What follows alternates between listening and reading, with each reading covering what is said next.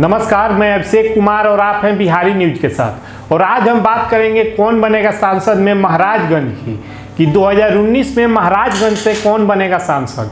Maharajganj Lok Sabha seat Bihar के चर्चित सीटों में से एक है। पूर्व में यहाँ से कई दिग्गज राजनेता चुनाव जीते हैं। इस सीट पर छठे चरण में 12 मई को मतदान है।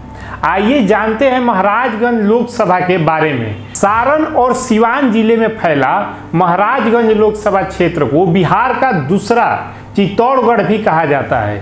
इस लोकसभा क्षेत्र के अंतर्गत छह विधानसभा सीटें आती है, जिनमें गोरिया कोठी महाराजगंज, एकमा, मांझी, बनियापुर और तरैया हैं। इनमें दो विधानसभा, सिवान में तो चार सारण ज़िले में है। 2014 में महाराजगंज से भाजपा के जनार्दन सिंह सिग्रीवाल ने राजद के प्रभुनाथ सिंह को हराया था। वहीं तीसरे नंबर पर यहाँ से जदयू के मनोरंजन सिंह, उर्फ़ धूमल सिंह थे।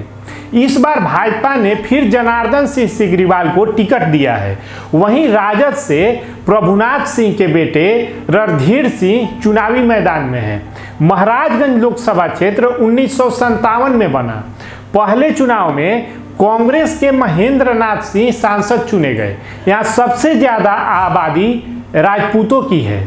दूसरे स्थान पर भूमिहार है। पूर्व प्रधानमंत्री चंद्रशेखर यहाँ से उन्नीस में रिकॉर्ड मतों से चुनाव जीते थे। उनके इस्तीफा देने के बाद राम बहादुर सिंह सांसद चुने गए। यहाँ से चार बार बाहुबली छवि वाले प्रभुनाथ सिंह सांसद रहे हैं। एक बार स्वर्गीय उमा शंकर सिंह भी सांसद बने। इसी लोकसभा क्षेत्र के अंतर्गत 2016 में मसरक प्रखंड के नवसृजित प्राथमिक विद्यालय गंडामन में विषाक्त मिड डे मील खाने से 23 बच्चों की मौत हो गई थी। इस मामले में विद्यालय की प्रधानाध्यापिका मीना देवी को छपरा कोर्ट ने 2016 में आजीवन कारावास की सजा सुनाई थी। महाराजगंज से सांसद जनार्दन सिंह सिगरीवाल ने यहाँ पाँच साल में 2332 योजनाओं को मंजूरी दिलाई है। मशरक से महाराजगंज नई रेलवे लाइन की सौगात मिली है। लेकिन यहाँ का सबसे बड़ा जो कि मुद्दा है, महाराजगंज को जिला बनाने की मांग है। इसके लिए कई बार आंदोलन भी हुए हैं। यहाँ अनुमंडल अस्पताल है, लेकिन बेहतर चिकित्सा के लिए लोगों को आज भी बाहर जाना पड़ता है। यह क्षेत्र राजधानी पटना से करीब एक सौ सत्ताईस किलोमीटर दूर है, जबकि दिल्ली से इस क्षेत्र की दूरी नौ सौ सतासी किलोमीटर है। यह उत्तर प्रदेश की सीमा से सटा इलाका है। महाराजगंज एक तरफ़, गोपालगंज ज़िले से भी घिरा हुआ है। लंबे समय तक यह सीट कांग्रेस और फिर जनता दल का मज़बूत गढ़ बना रहा। आरजेडी के उम्मीदवार भी यहाँ से दो बार चुनाव जीते हैं। राजपूत बहुल इस सीट पर मुस्लिम यादव समीकरण का खेल बना और बिगाड़ सकता है। इस सीट पर राजपूत समुदाय से आने वाले बाहुबली नेता प्रभुनाथ सिंह की अच्छी पकड़ मानी जाती है। प्रभुनाथ पहले जनता दल फिर समता पार्टी और बाद में राजद के टिकट पर यहाँ से सांसद चुने गए। लेकिन 2014 के मोदी लहर में बीजेपी उम्मीदवार के सामने मात खा गए। इस बार वे चुनाव नहीं लड़ रहे हैं, क्योंकि हत्या के एक मामले में उन्हें उम्र कैद की सजा हो गई है। उनके स्थान पर उनके बेटे रणधीर सिंह महागठबंधन की तरफ़ से राजद के टिकट पर चुनावी मैदान में हैं। वहीं अगर बात करें कि इस सीट की गुना भाग की तो महाराजगंज लोकसभा क्षेत्र में मतदाताओं की कुल संख्या तेरह लाख बारह हज़ार दो सौ उन्नीस है। सारद प्रमंडल के अंतर्गत पड़ने वाले इस सीट पर पूर्व के वर्षों में सियासत दिलचस्प रही है। उन्नीस सौ छियानवे से ही यह सीट जनता दल यू यानी जदयू के खाते में रही है।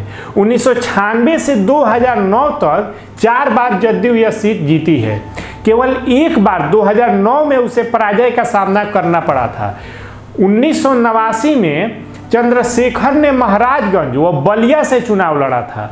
वे दोनों जगहों से जीते थे, मगर उन्होंने महाराजगंज सीट छोड़कर बलिया अपने पास रखा था। इस दौरान वे प्रधानमंत्री भी बने। 2014 के आम चुनाव में जब भाजपा और जदयू ने अलग अलग चुनाव लड़ा, तब मोदी लहर में इस सीट से भाजपा के जनार्दन सिंह सिगरीवाल विजेता रहे। पुराने आंकड़ों पर नज़र डाले तो उन्नीस सौ बासठ में कांग्रेस के कृष्णाकांत सिंह सांसद बने, उन्नीस सौ सड़सठ में एमपीसी और उन्नीस सौ इकहत्तर में रामदेव सिंह इस सीट से चुनाव जीतकर लोकसभा पहुँचे।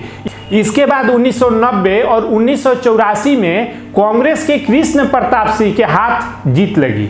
और उन्नीस सौ नवासी और उन्नीस सौ इक्यानवे के चुनाव में जनता दल के उम्मीदवार इस सीट से जीते। उन्नीस सौ छियानवे में समता पार्टी के राम बहादुर सिंह यहाँ से सांसद बने। उन्नीस में समता पार्टी के टिकट पर बाहुबली प्रभुनाथ सिंह यहाँ से चुनाव जीतने में कामयाब रहे। इसके बाद वे लगातार दो और चुनाव, उन्नीस सौ निन्यानवे और 2004 में जेडीयू के टिकट पर जीतते रहे। लेकिन 2009 में उनके जीतने का सिलसिला रुका। उस चुनाव में जेडीयू के प्रभुनाथ सिंह को आरजेडी के उमा शंकर सिंह ने हरा दिया। 2013 में उमा शंकर सिंह के निधन के बाद महाराजगंज सीट पर उपचुनाव हुआ। इस बार प्रभुनाथ सिंह पाला बदलकर आरजेडी के खेमे में आ चुके थे।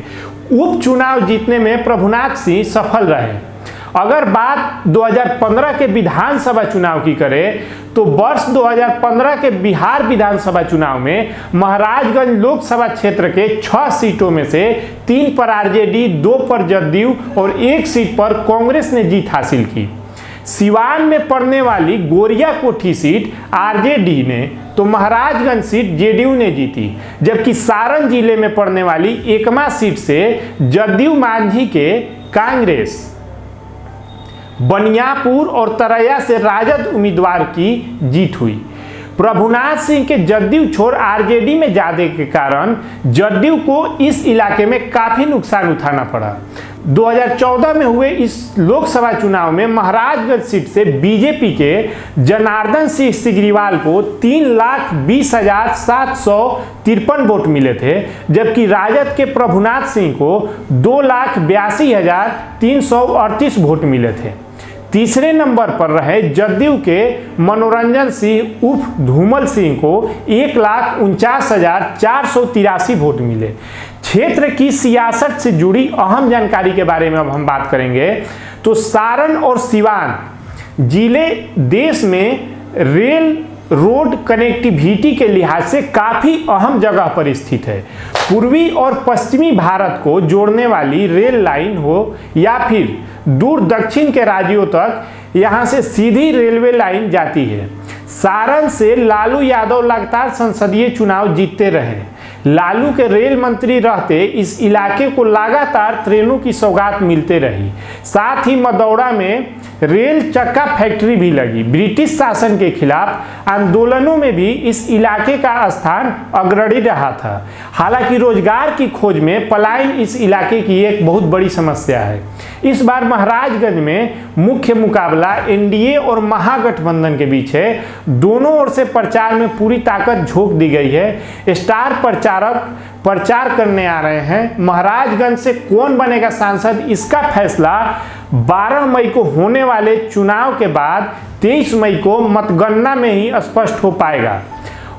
वहीं आपका मत ये निर्णायक फैसला करेंगे। अगर आपको हमारा ये वीडियो अच्छा लगे तो इसे आगे शेयर कीजिए, लाइक कीजिए तथा चैनल को सब्सक्राइब कीजिए और बेल आइकन पर क्लिक कीजिए। और फेसबुक पर देख रहे हैं तो वहाँ भी लाइक कीजिए। धन्यवाद।